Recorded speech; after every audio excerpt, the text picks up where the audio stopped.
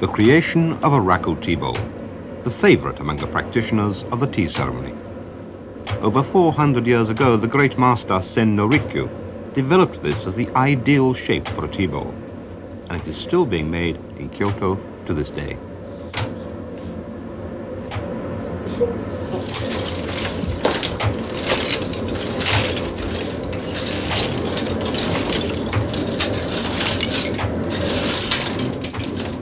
Many centuries ago, a Japanese artist created this uniquely shaped tea. And now, a contemporary artist infuses the traditional form with the modern spirit, the birth of a micro-universe.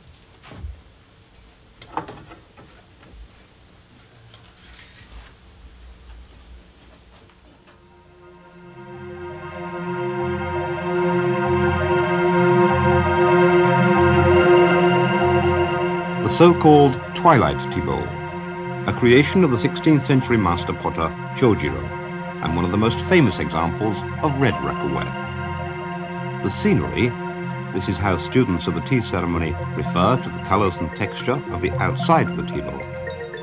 The flaming red, the ingrained tea stains, the hairline fractures on the surface. They go through subtle changes, just like natural scenery. For Shuichi Kato, the tea bowl has a deep significance.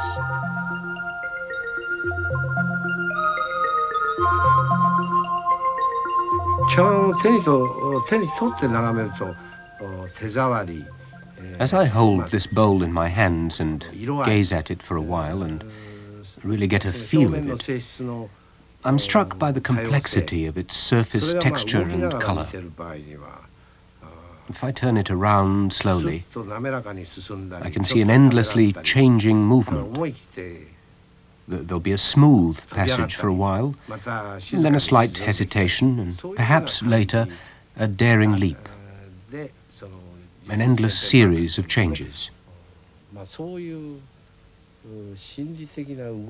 This tea bowl embraces all the characteristics of the psychological passage of human nature.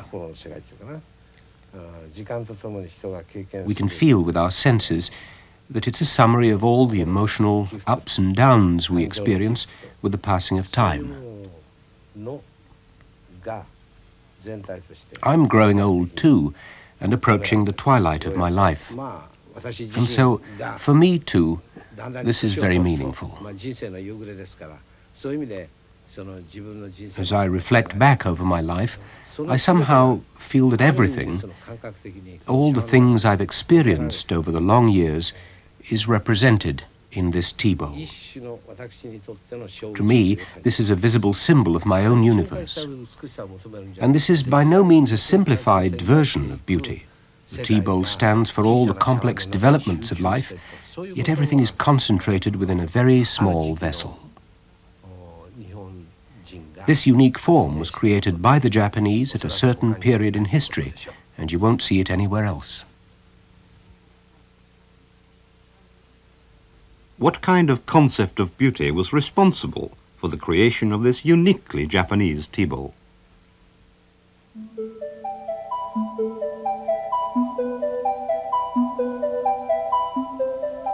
The tea ceremony became popular in Japan during the Muromachi period which spanned the 14th and 16th centuries.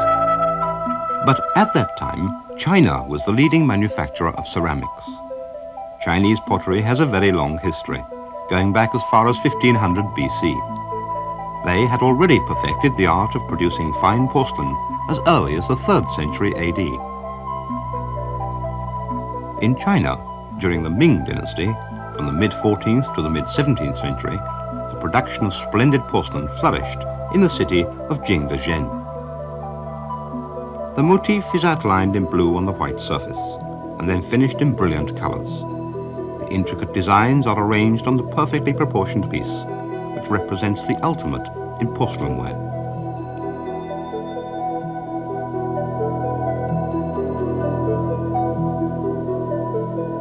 Connoisseurs also sought brilliance and a balanced shape for their tea bowls. Here, as near a perfect circle for the rim, which was outlined in gold, a striking contrast to the blue-green of the bowl.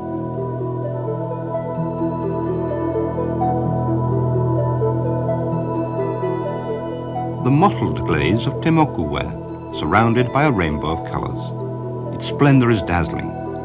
This type of tea bowl was treasured in Japan as Chinese ware.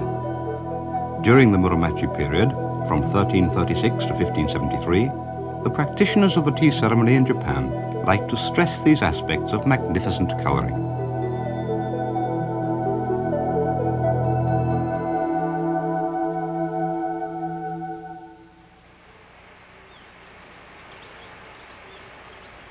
But soon a change was to take place in aesthetic taste, which had up until then treasured the symmetry of Chinese ware. It was around the time when the Muromachi military government was overthrown by the powerful warlord Oda Nobunaga in 1573. The Korean Ido-type glazed tea bowl came to be regarded as the most acceptable for the tea ceremony.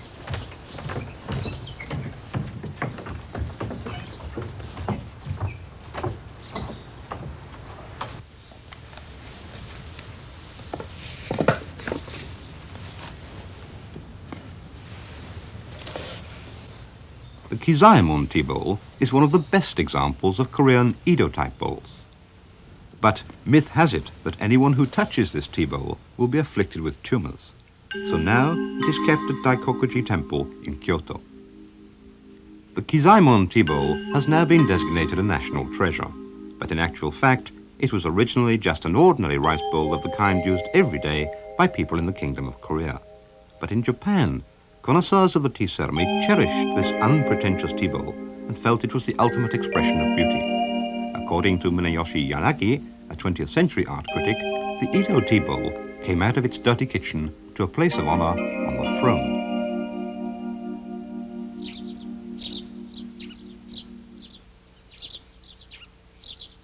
So, the tea ceremony was stripped to its bare essentials and entered the world of wabi, or philosophic idealism, which denied all preoccupation with outward appearance.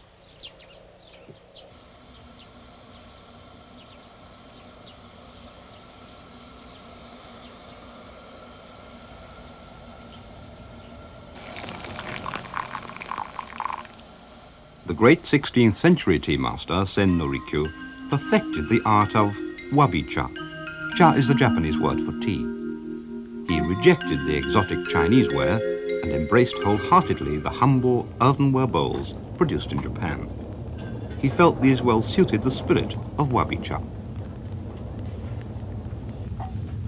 In the second half of the 16th century, the use of these simple tea bowls spread throughout Japan.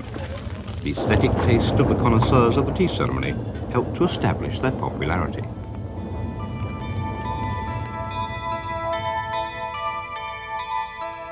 Many of them were of irregular shape, rough texture and uneven colour. And there was no trace of the eye-catching. But for this very reason, each person was able to appreciate the tea bowl in his own way, and so its beauty was unlimited.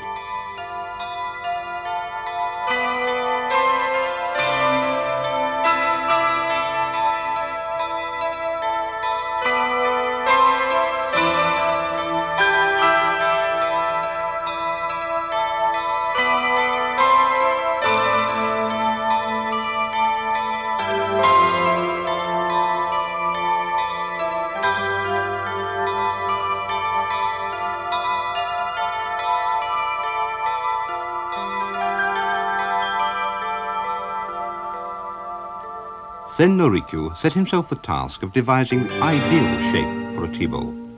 The result was the raku tea bowl, and this type has continued to be produced to this day for use in the tea ceremony.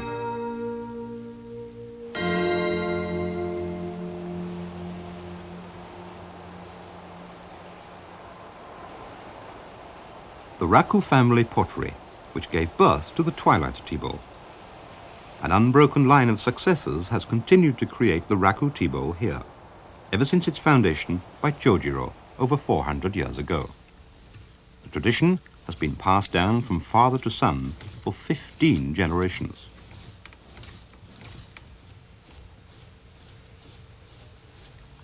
Kichizaemon studied sculpture at the Tokyo University of Fine Arts and Music, and then for some years in Italy. On his return to Kyoto, he took over the pottery from his father. This clay was discovered by Kichizaemon's great-grandfather at Fushimi on the outskirts of Kyoto and then stored for about 80 years. The unique texture of rakuwa is achieved by using seasoned clay like this.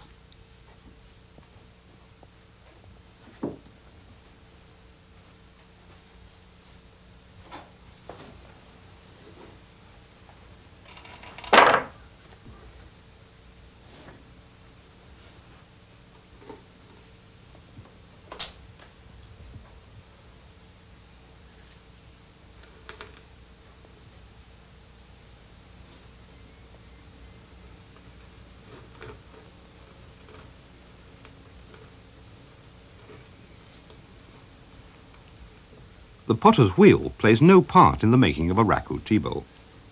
The clay takes on the form of a tea bowl in the bare hands of the potter. With the potter's wheel, centrifugal force pushes the clay outwards. But the raku tea bowl is made by encouraging the flat piece of clay to move inwards. The curve of the hands is transposed to the clay and gives it shape.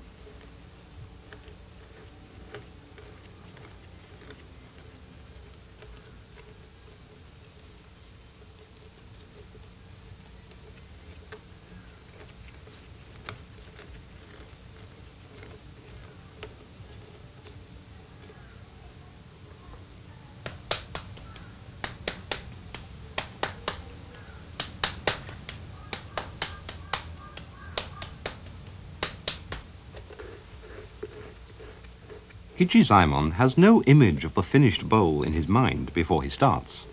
It's only when he actually takes the clay in his hands that the bowl begins to take shape.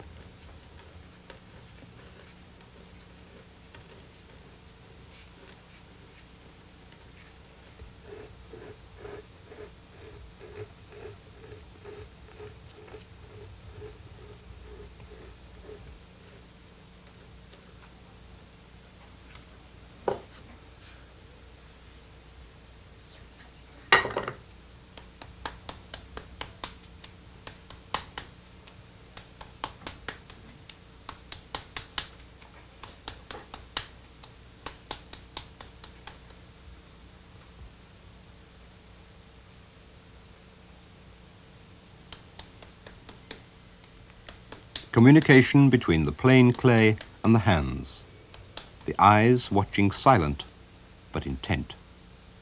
The very spirit advocated by Senno Rikyū in his quest for a tea ceremony totally devoid of the obtrusive.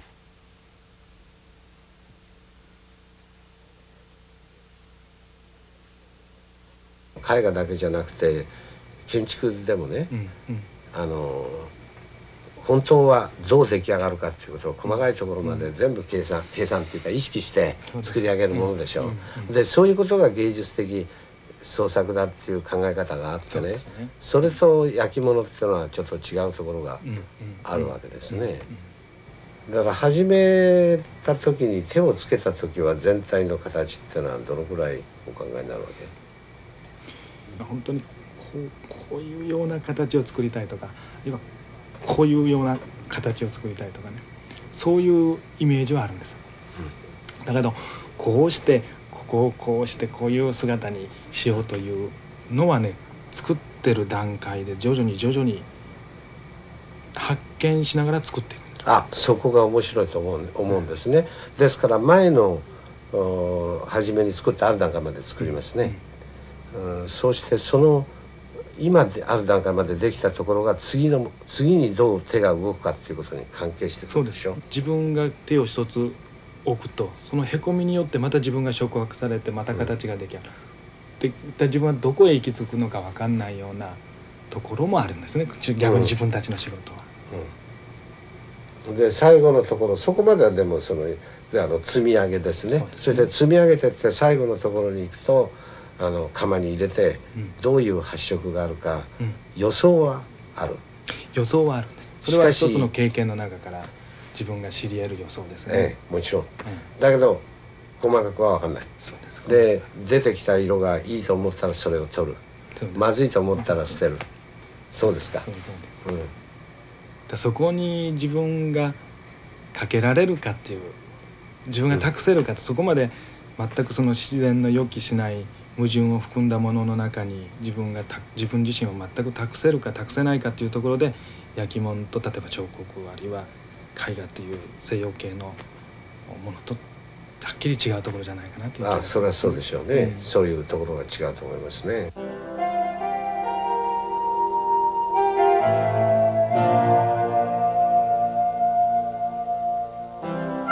In Europe, fine pottery had its origins in ancient Greece.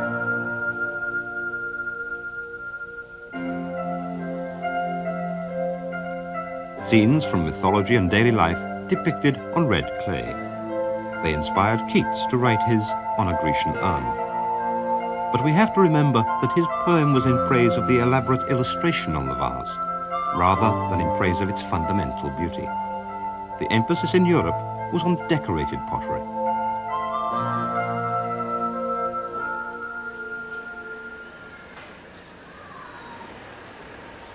For centuries, Europeans had regarded ceramics as implements of daily life. But under the influence of Chinaware, they came to appreciate their striking beauty. In the 17th century, the Dutch East India Company imported porcelain ware from China and later from Japan the people of Europe were enthralled by these magnificent objects. Aristocrats vied with each other to build up collections of expensive Oriental porcelain.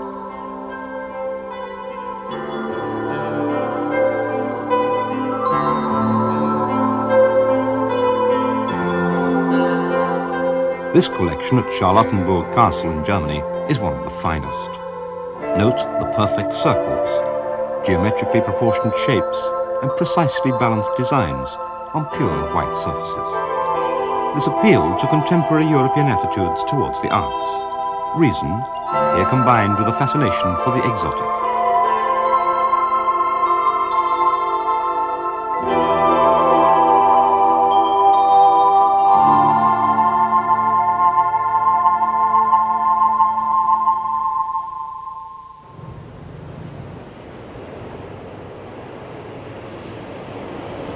Technique of producing hard white porcelain was still unknown in 17th century Europe, but the aristocracy were keen to have this ideal type of porcelain made by their own craftsmen.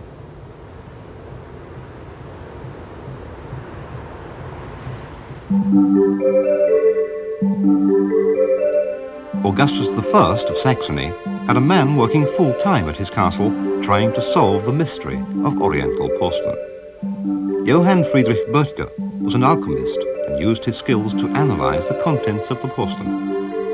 He carried out one experiment after another and came up with the ideal combination of different clays. At long last he was able to produce a very hard porcelain fired at a high temperature. But the piece was brown, a far cry from the smooth white porcelain of the Orient.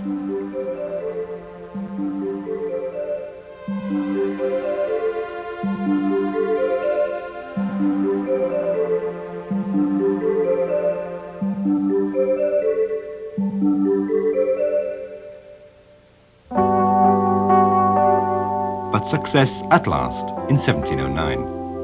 Böttger used kaolin and fired the sample at 1,300 degrees centigrade. The result was a pure white urn, just like those from the Orient. European porcelain began as imitations of the Chinese and Japanese, but in time it assumed a character of its own. The culture of the Orient was absorbed and adapted to the taste of the West.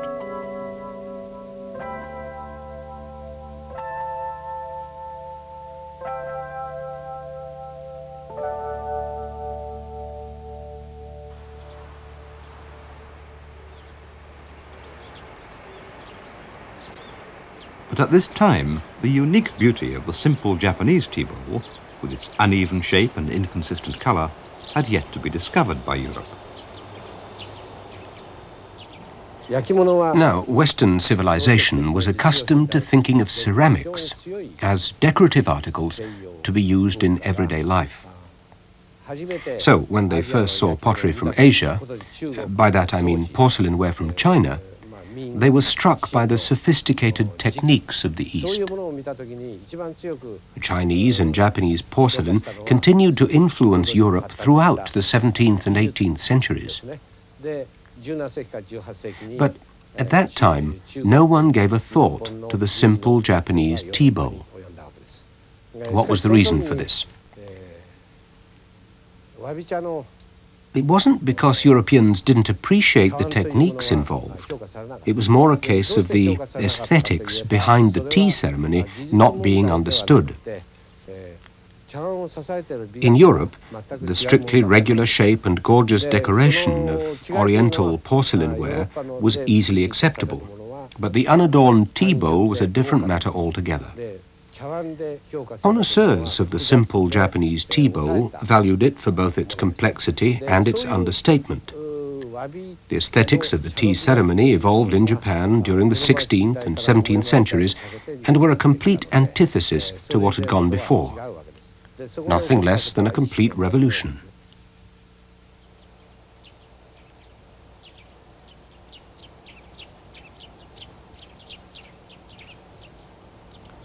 The setting for the tea ceremony helps us to understand the comment of the 19th century art critic Okakura Tenshin. The tea ceremony is a way of achieving something meaningful in this life, which is full of mysteries. Thus, the tea ceremony is life itself, a way of transforming nature into art. The tea bowl is the ultimate symbol of that spirit.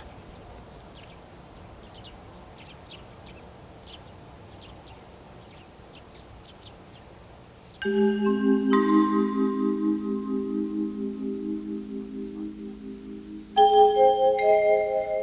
or nature is projected into the tea bowl.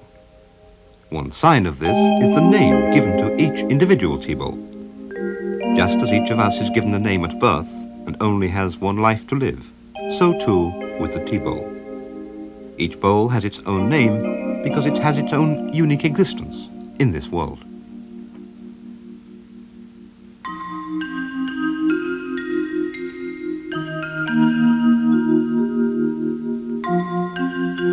Each tea bowl has its own personality. At times, it is intrinsically connected with a person's life. At others, it finds itself at one with nature, the universe in the palm of the hand.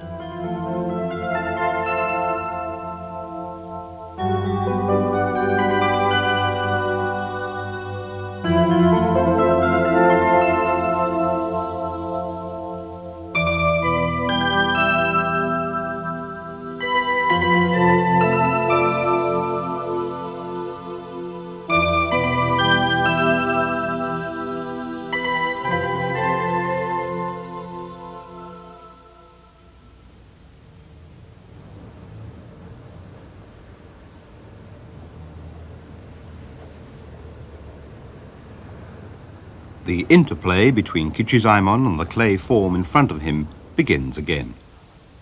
After the basic shape was formed, the tea bowl was set aside in the drying room for a few days. Now it is time for the potter's knife.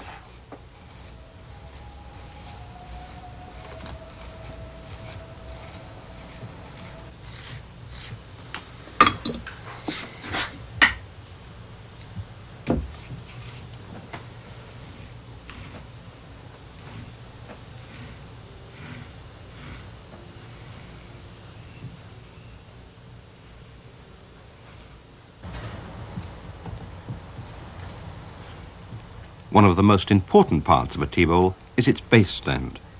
This begins to take shape out of the thick clay.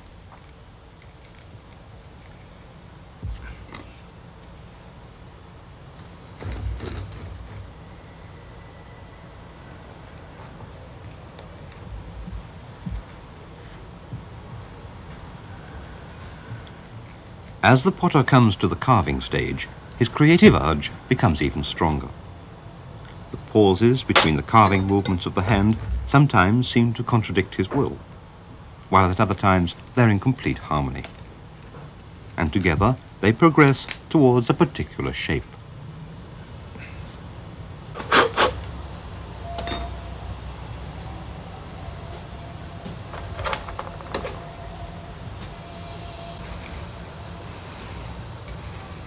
While preserving the rounded effect of the hands, the knife also carves out sharp, straight lines. The suppleness of the hands works in harmony with the hardness of the tools.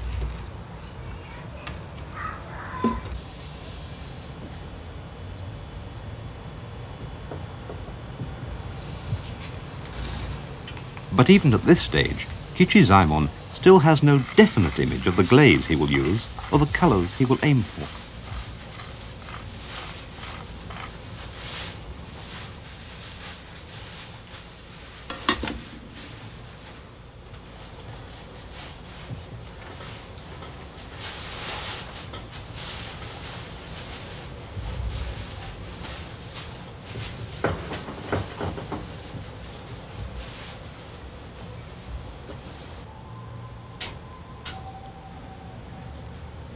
The final shape is decided by the actual movement of drinking the tea, the natural placement of the hands on the tea bowl.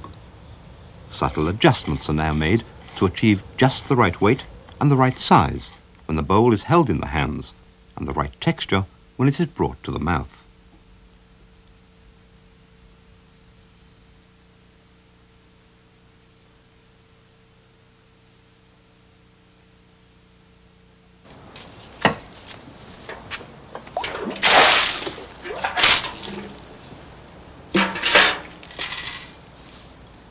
life is given to the finished shape by the glaze.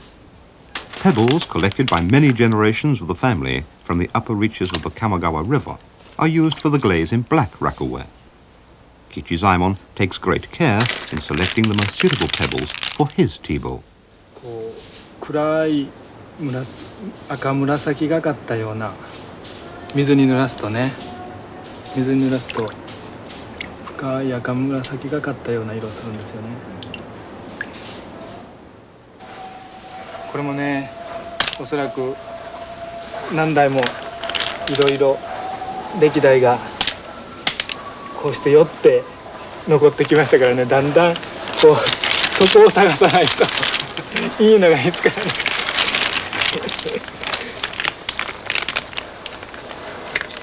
まあでもねこういう自然のものっていうのは意外と逆なこともあってこんな変な石ダメだろうと思って使ってみるとそれが全く面白い変化を生むようなこともありますからね。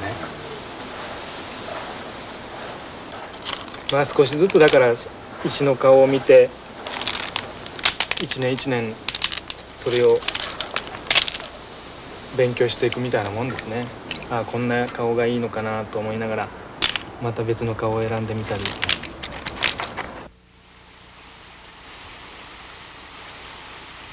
Using clay from Fushimi and pebbles from the Kamogawa River, the creation of the Raku tea bowl has been part of the scene in Kyoto for 400 years.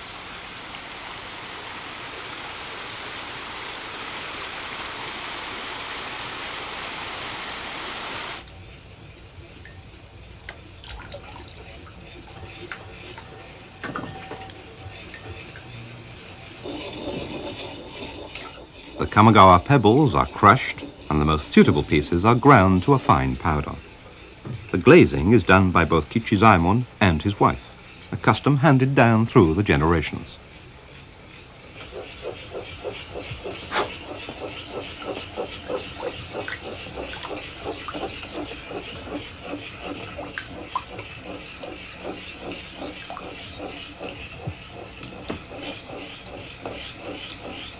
Kichizaemon takes a good look at the bowl because its shape is his inspiration for applying the glaze. Each layer of glaze is like a segment of a conversation, and as each comment is added, the tea bowl comes together as an integrated work.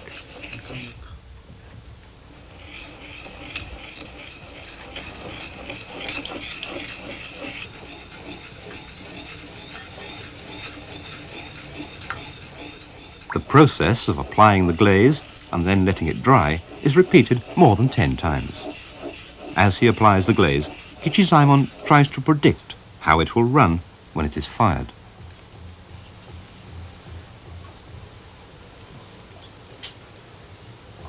Japan の場合はその自然と人間との関係があるから、でどっちも大事なみたいで、うんというよりも人間化された自然と自然化された人間みたいなものが中心になってるような気がするんですね。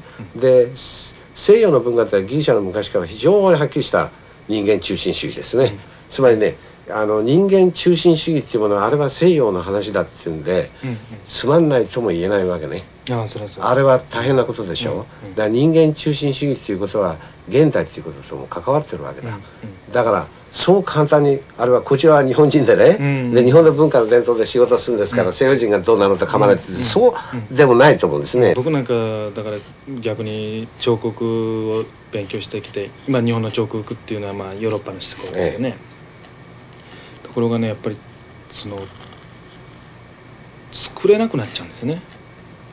人間に関わって人間の存在自分の自分っていうのがこういうこうだっていうふうにこうそその確固たるものがなくなったっていうか崩れてきたっていうところにまず起因するような気がする。んですか。うん、だからうん個というものの中に最終的に言えば全体があるし部分の中に全体があるという、まあ、もちろんその逆でもあるんだけどもそういうようなあり方っていうものがこれから先すごくこう必要になってくるというかね実際に自分自身その必要になってそれは大変現代的なことですね。うん、個性ってものとか自分というのは非常にはっきりしててね、うん、でその立場から周りの何でも自然もね、うん、全てのものを偶然性を排除して、うん。うん、で全てのものをまあなんていうかな。力ずくでねじ伏せると、ねじ伏せる。ことができるんだと。ねじ伏せた方がいいと、ねじ伏せることが文明であるという考え方はね、あのそうなかなかいかないところが出てきた、だからその先はやはり何かコントロールできない、意識的に計算し尽くされない。力ずくで生きかねるところ、それからあ余ったところっていうかな、そういうところがね、うん、まあ運よくでしょうね、うんうん、幸いにして協力してくれた時そのいい方角にうんうん、その時なんかできるできる、At a time when confidence in humanity and belief in the individual worth of artists are being broken down, some artists strive, despite the difficulties, to achieve new heights in their chosen medium. The American painter Jackson Pollock delved beyond the realm of the conscious will and incorporated the spontaneous in his action paintings.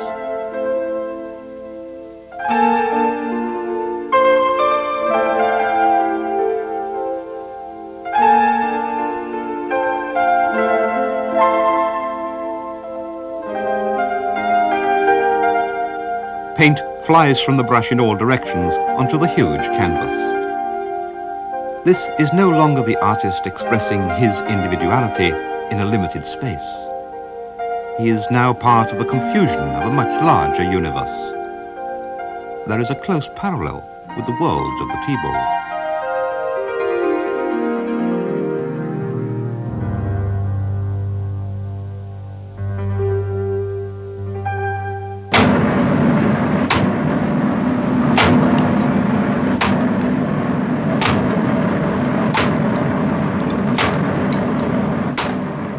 2 o'clock in the morning. Kichizaemon has done as much as he can to create a tea bowl which is a work of art. Now it is out of his hands as he places it into the kiln.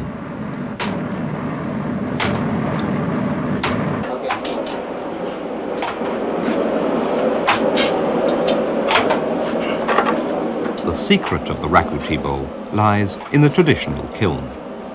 Only one bowl at a time can be fired inside the single chamber. As the shape and glaze of each tea bowl is different, great care is taken in the timing, just when the fire is right for that particular bowl.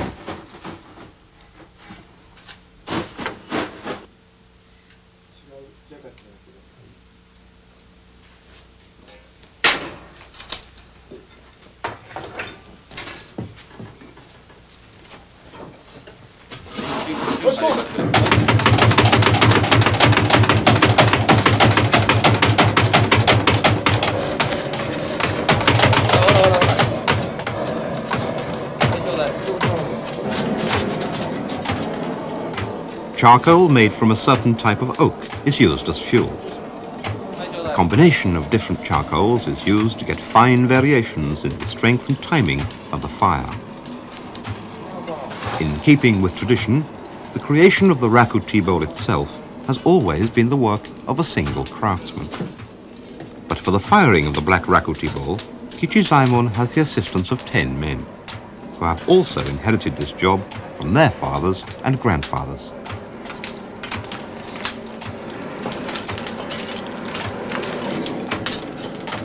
Despite long experience and meticulous preparation, there are two elements which defy prediction fire and draft.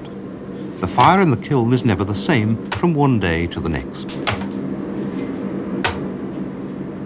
The bellows play an important part in controlling the condition of the kiln.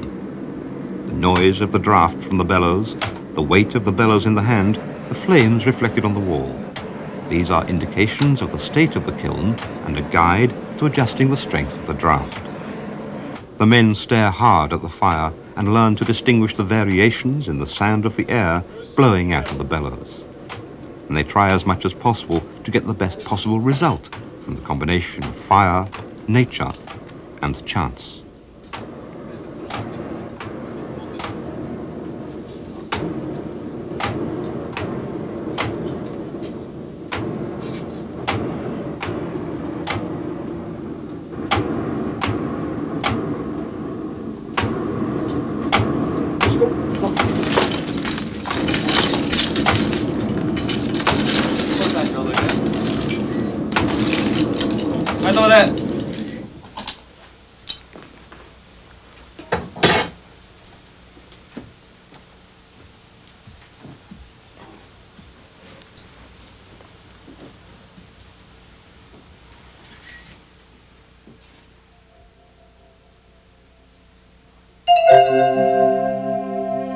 Raku tea bowl reveals its complete appearance for the very first time when it is taken out of the kiln and allowed to cool. Each new work has its own texture, its own colour, lustre and delicate balance, all coming together to form a universe of its own.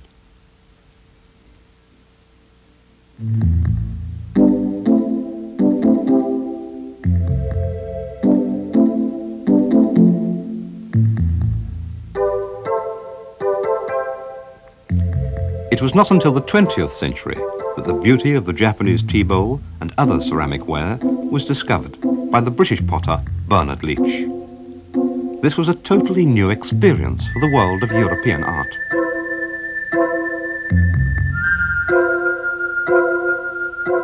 The quiet beauty of the Japanese tea bowl is at last being recognized the world over.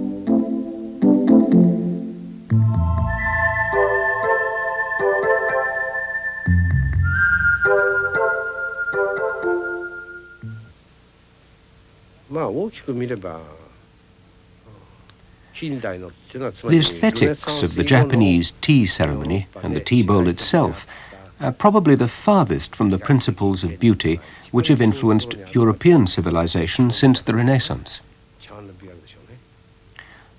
The tea bowl looks as though it's actually rebelling against art.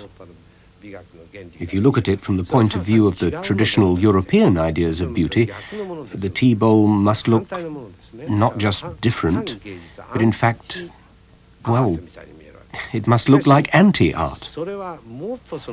But if you take the trouble to delve a bit deeper, and so widen the boundaries of art, I'm sure that it will then come well within the borders.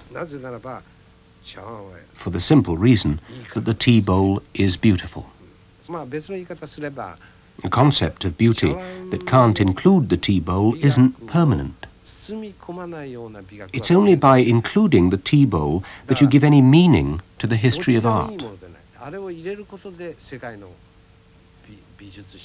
Without it, you have something incomplete. If you refuse to accept the tea bowl, then you're setting yourself some severe restrictions. The tea bowl is now being viewed with great interest by people, not just here in Japan, but also around the world. It's beginning to exert an influence in much wider circles, and gradually changing from being the sole possession of the Japanese to that of the whole world.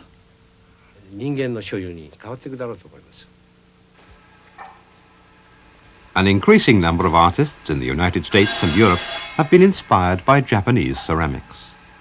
Claude Champy has his kiln on the outskirts of Paris.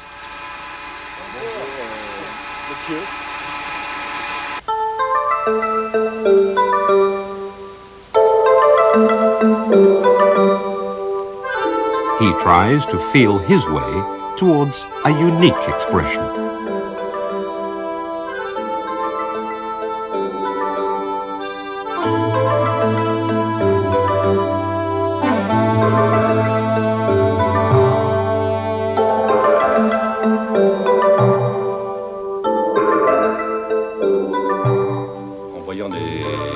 Japonaise au musée Guimet à Paris, euh, j'ai réalisé que la poterie japonaise était la première poterie où on retrouvait un individu et non plus euh, un phénomène de société comme dans la céramique euh, chinoise, par exemple, l'époque Song, que j'aime beaucoup.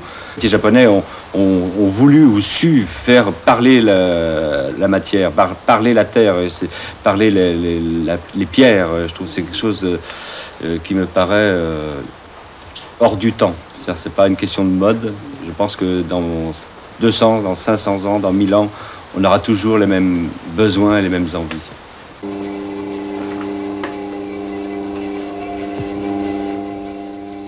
In the past, Europe was captivated by the magnificence and perfect proportions of Oriental porcelain.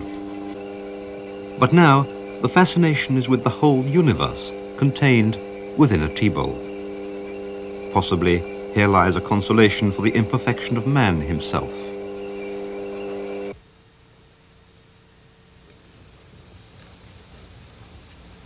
The Raku family passes down the traditional secrets, including mixing the glaze and firing the tea bowl, from father to son, down through the ages. While every generation learns from the essential spirit of the tea ceremony itself, each individual craftsman functions in his own unique way and makes his contribution to the technique and expression embodied in a tea bowl. When there is a synthesis of dynamics between the craftsman and the elements of nature beyond his control, then we have art. For the artist of the tea bowl, the challenge endures.